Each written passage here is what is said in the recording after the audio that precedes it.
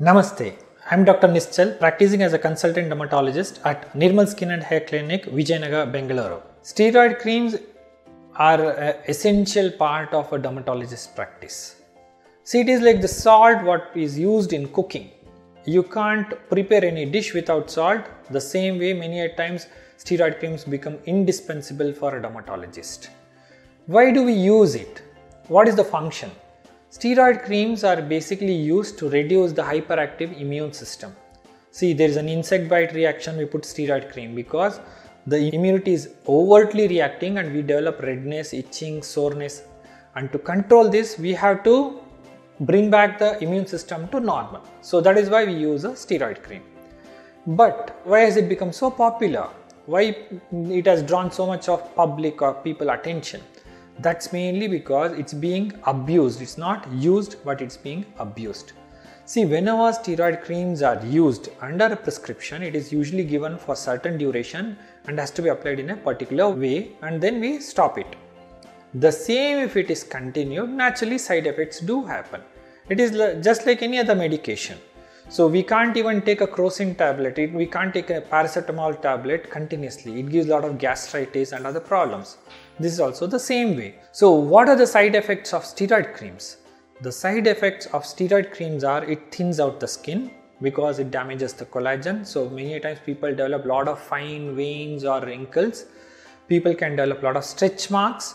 Then people, it itself stimulates acne. We call it as steroid acne and then since the skin becomes thin the veins become prominent we call it as telangiectasia. And because of that people have very red skin. The moment they step out the skin becomes completely red.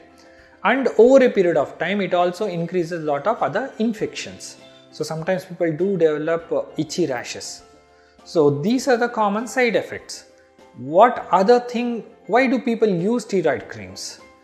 Basically because it also suppresses melanin production so whenever the melanin production is reduced, melanin is a pigment which gives darkness to the skin. Naturally when the melanin is reduced, the skin looks fair. So that is why people start abusing steroid creams. In India, people use these steroid creams because it's easily accessible and use it as a fairness cream and they end up with lot of side effects. That is what is called as topical steroid damaged face. Second aspect is it's commonly abused also for any itchy rash. See, as I told you, itching can happen because of an insect bite reaction, but it can also happen because of an infection. Common thing is a fungal infection, the ringworm infection. So, whenever there is an infection, the immunity has to fight for an infection.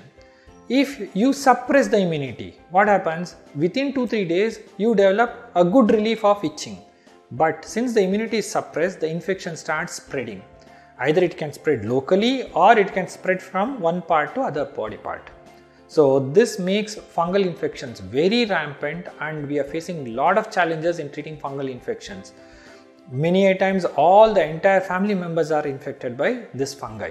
So steroid creams are essential for a medical treatment. It has to be used in a proper way under a doctor's advice and it can't be used on your own because it's not a moisturizer.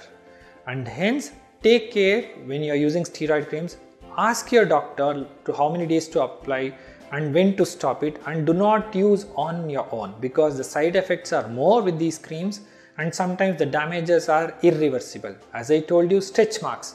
So whatever reason a stretch mark may happen you can't completely get rid of a stretch mark.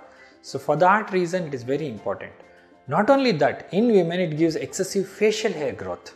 So people develop a lot of facial hair growth and then we have to do laser to reduce them so for that reason, use steroid creams judiciously and don't abuse it.